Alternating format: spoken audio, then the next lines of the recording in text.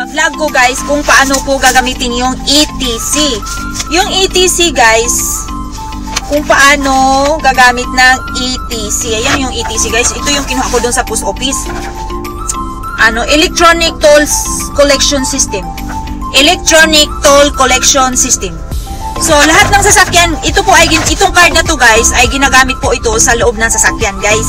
Kasi, ah parang toll fee, toll fee sa E- NLEX, sa mga ganun, sa, kung sa Yan Pilipinas po pa. yung name ko guys, Red Clavel.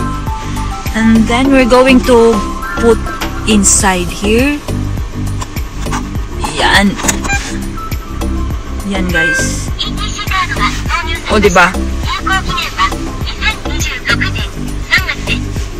Ito po yun siya guys. O, yan po siya yung nagsasalita. Tapos tanggalin siya. Tanggalin natin siya guys. Ito lang po siya tanggalin guys. Tapos kunin siya. A few minutes So later. guys, nandito na po tayo sa highway. So pupunta na po tayo ng ETC. Ayan na yung ETC guys. Tapos mag-ilalagay na po natin yung card natin para pupunta po tayo sa loob. Sasakyan po niya yung ginamit natin guys kasi iwan ko, nakalimutan ko guys na dapat pala yung sasakyan ko pala dapat ang dadalhin. So tara na guys, punta na tayo doon guys. Papakita ko sa inyo guys kung kung paano po gagamitin yung ETC card. Tara! Good morning, good morning guys. Matapos ko lang naligo guys. Wala po ako anik-anik sa face. Pagkatapos ko agad naligo guys, malis ako agad. May kumuha po ako sa post office. Diyan lang po kayo at manonood lang po kayo guys. Parang pumayat po ako ng konti guys kasi sobrang busy po yung work namin ngayon guys.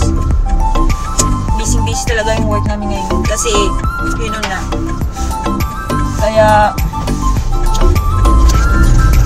may talaga guys, no? ako nagkaka-pimples talaga ako pero sa bagay, lately kasi, bumili kasi ako maraming peanuts, kaya, ayun, marami akong pimples dito. Meron dito guys, tatlo. Kaya, pag wala kasi akong pimples guys, ganang-gana ako kumain ng mani. Tapos pag may pimples na ako, ayoko na ng mani. Gagano na ako guys. Tapos, Diyan lang po kayo guys. Just fasten your seatbelt and watch me. Okay? Nandito na po tayo sa Family Mart. Okay? Talagang halata talagang walang ano guys. Ayan yung pimples ko guys. Ang sakit. Hmm. Bibilangin natin guys kung ilan po yung pimples ko. Wala po akong, wala po akong kilay. Wala talaga guys. Nagano lang ako guys. After shower, nag-serum lang tapos umalis na kaagad kaya oily yung face. Okay lang kasi wala naman tayong ano, wala naman tayong pupuntahan guys. Nagpunta lang ako sa post office guys kasi iba-vlog ko guys kung paano ko gagamitin yung ETC. Yung ETC guys, kung paano gagamit ng ETC. Ayan yung ETC guys. Ito yung kinuha ko doon sa post office. Ano, Electronic Tolls Collection System. Electronic Toll Collection System. So, lahat ng sasakyan, ito po ay, itong card na to guys, ay ginagamit po ito sa loob ng sasakyan guys. Kasi, ah parang toll fee, toll fee sa L- NLEX, sa mga ganun, sa, kung sa Pilipinas pa. Hutondo, ano ba yung Tagalog sa Hutondo? Ah, karamihan, lahat ng sasakyan ay mayroon ng ETC. So, bala kong mamaya pag, pag makapag, makaalis kami ni Jowa, pupunta tayo sa ETC guys, Sasa- sasama ko kayo kung ano po yung ETC at saan po ito magagamit. No? So, yung sasakyan ko may ETC, tapos yung, yung kay Jowa din merong ETC. So, papakita ko po sa inyo kung anong, ano, para siyang NLEX na toll fee doon guys, sa Pilipinas. Tapos, dito din sa amin, pakita ko sa inyo kung anong, ano ba yung toll fee dito, di ba? Pa- Papapasok ng highway. Yung highway kasi nila dito guys, wala ng mga traffic lights. Dire-diretso na yan guys, kaya di ba, ang social. Sabagay, ganun din naman ang NLEX doon sa, sa Pilipinas, wala na rin siguro tra, ano, yung mga, wala na yata mga traffic lights, di ba? Tapos guys, ano, mam- mamaya ko na to siya tanggalin kasi papakita ko po sa inyo kung saan dito sa loob ng sasakyan ko ito ilalagay. Mamaya na lang pala guys kasi pagpapapunta na kami ng ATC, saka ko to ilalagay. Ex- Exciting, di ba? Mamaya na to, to tanggalin. Actually, yung gamit kasi ni Joanna card is card ko yun, pangalan ko. So, hindi, pa, hindi pa kasi siya nagawa, kaya timing din na may nag-offer sa akin ulit. Kaya, dalawa na yung ETC ko. So, pinahiram ko na lang sa kanya yung isa. Akin na lang tong bago.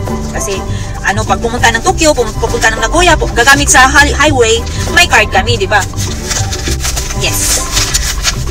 bibilangin muna natin yung pimples ko, guys. Ayan, oh. One, two, three, three, four, four, apat, guys. Lagi. Pero, okay lang dahil minsan lang naman ako magkakatig, magkakatigyawat, guys. Okay lang. Kasi ganun talaga ang buhay. Ah, mahirap talagang gumawa ng pera kasi syempre I love my job. We love our job. Kaya kahit gaanong pagod, kailangan tiisin. Kailangan yung pagod, i-feel lang natin masaya tayo para hindi natin masyado ma-feel yung pagod. Ano lang, be happy lang. Kahit pagod ka na, smile pa rin. Magpapatawa ka pa rin. Kasi kami lang kasi ni Jowa ang magka, magka, magkasama sa work. Kami lang din ang nagkakausap. So, papatawa siya, papatawa rin ako. Tapos minsan guys, kay magka, magkainitan. Minsan magkaaway din sa loob guys. Yung yung ano, yung parang mapipikon-pikon kasi antok. Siyempre yung kalaban kasi natin minsan sa gabi. Minsan kasi hindi ako masyado nakakatulog agad sa umaga dahil kaka-edit tapos ano ano kayang ano aling video ang ang ipopost ko. Tapos iikot-ikot pa ako sa mga bahay. Kasi syempre nakakahiya naman kung hindi ko sila pupuntahan. Tapos pupunta sila sa sa vlog ko nagko-comment sila. Tapos hindi ako po mapupunta doon di ba? Nakakahiya naman. Kaya syempre pilitin ko talaga yung sarili ko na makadalaw talaga sa bahay doon sa mga taong nagko-comment sa sa vlog ko Tsaka guys, gusto ko pong ah, from now on, mayroon na po akong join membership sa sa sarili kong channel. Kaya kung baka lang naman, pwede po kayong mag-join and mag-membership. So sa lahat ng magpa-member sa akin, ah, i-prioritize ko po kayo guys sa mga from now on, simula ngayong magba-vlog ako, ay palagi ko po kayong i-shout out and i- i-post or i-pin yung yung channel nyo para para promote mag-promote po sa channel nyo every every vlog ko. Kaya kaya join na po kayo sa sa channel ko para po sa membership at saka pag medyo marami-rami na tayo napag-isip ko kung medyo marami, maabot na tayo ng 10, minsan magpaparapol po ako, at saka meron po tayong anik-anik na gagawin para hindi po tayo, um, para masaya lang, di ba? Pa, ano, kunting, ah, minsan, wa, ano, two times a month, magparapol po ako sa lahat ng member, nagpapa-member or nag-join po sa channel ko. Ang pasalamat na rin po sa inyo, ah, sa pag-join po sa channel ko. Yung ganon. So, if, sa ngayon, ang nag-join pa po ay, ah, Ninja Travelers 167. Shout out A po sa inyo, sir! moments later. Guys, sa loob ng sasakyan, ipapakita ko po sa inyo kung saan po ah, banda yung ilalagay yung ETC card. Kaya ipapakita ko po sa inyo sa loob ng sasakyan kung saan ba banda ilalagay pala yung card na yun. Tara! Then, we have to open the door. And then, inside the car. Tapos, dito po siya ilagay, guys. Lahat ng sasakyan, guys, may ganito na. So,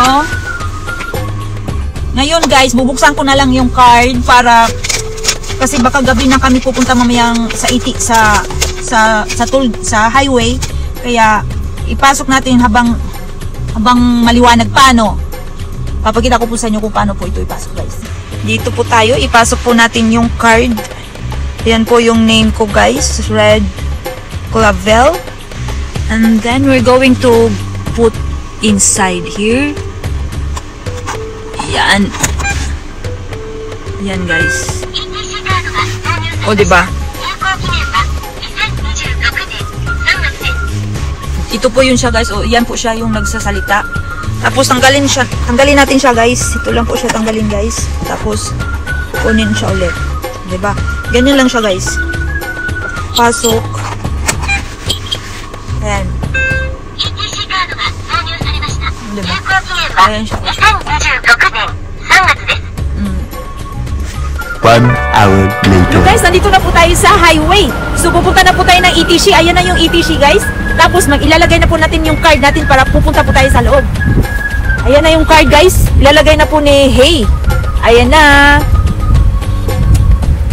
Ayan na po guys. Ayan na po yung card. Sasakyan po niya yung ginamit natin guys kasi ko, nakalimutan ko guys na dapat pala yung sasakyan ko pala dapat ang dadalhin. So tara na guys, punta na tayo doon guys. Papakita ko sa inyo guys kung kung paano po gagamitin yung ETC card. Tara! Ayo. E-card? Tara na, let's go! Ayun na po yung ETC guys, yung sa taas. Ayun na po siya.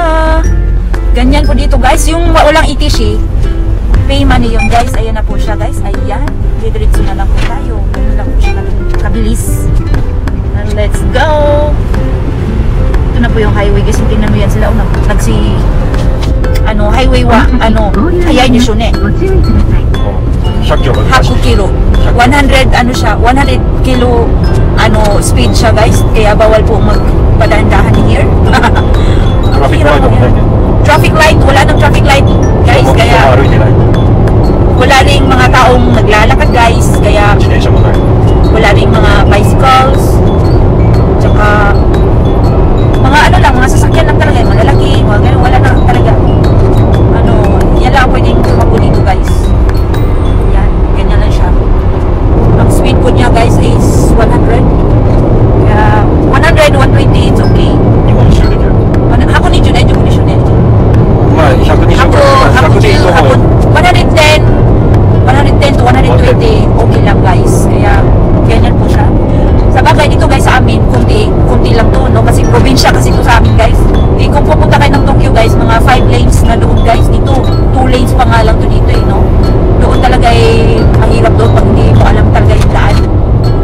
Ganito lang po dito sa amin mga guys. So, ngayon guys, uh, papasok pa rin po ulit tayo para mag-exit doon sa ETC na yun. Mata-exit, susunod siya, mata-ETC, hakairo siya na eh. Pero to gig. Ah, oh. Pag luma, malapit na, malapit na kami doon guys, i, i, i vlog ko ulit guys. Lampong. Ano nga? Yaso nga. Man. Ano? Baso nga yun kedo. So, lampong kakaroon, no? ano, ETC.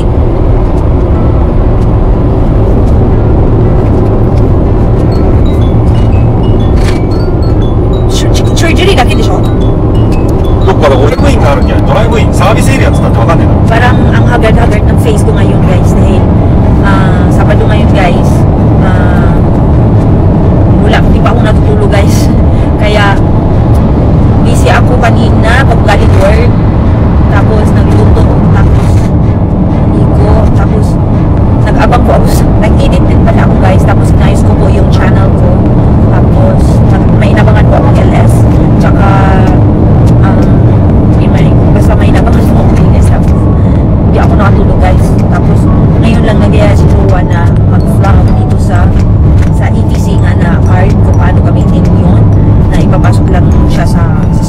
then makapagpunta na po sa sa highway or toll yun po yung bali ay toll fee dito sa amin guys. Kaya kaya yun ang pagpasensya niya yung mukha ko guys. Kasi talagang ano yung walang tulog pa guys.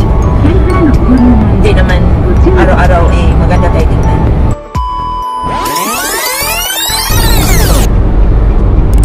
Guys nandito na po tayo sa ah, service area. Dito po guys dito po tayo kung saan tayo pwedeng mag-CR, mag-kakain, lahat-lahat, mag-shopping, merong konti. Dito diyan guys, every time na pupunta tayo sa highway, mayroon po talaga siyang service area guys, like this. Yes. Medyo maliit lang to siya, pero may service area din guys na malaki. Yan po siya, ganyan po. Andito po yung CR. Kasi hindi kasi basta-basta makapag-stop sa kalagitnaang highway guys no? Kaya kung maihi ka aantay ka talaga sa service area kung saan siya. Pero marami namang service area na to be one ang balis ko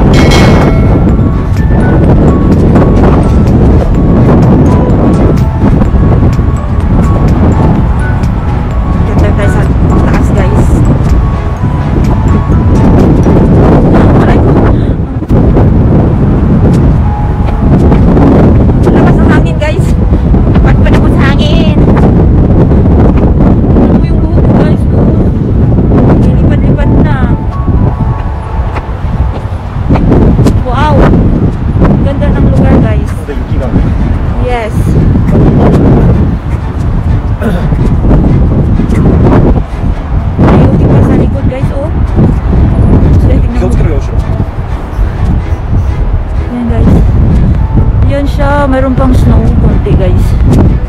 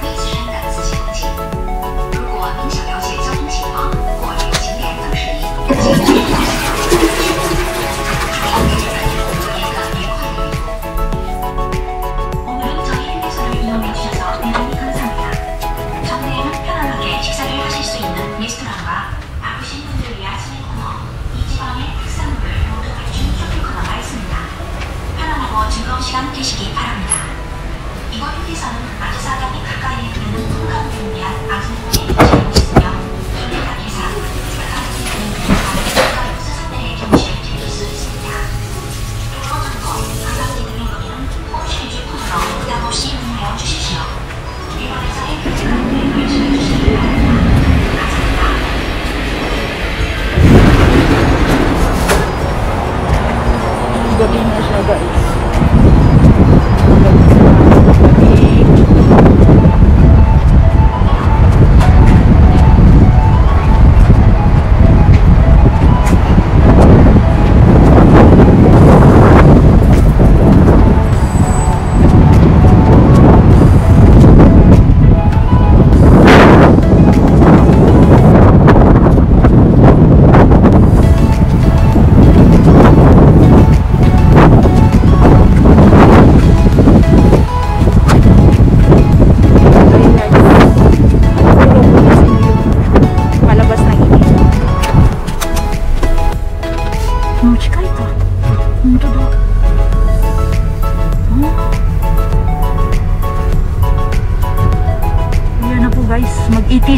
tayo guys para mag-exit.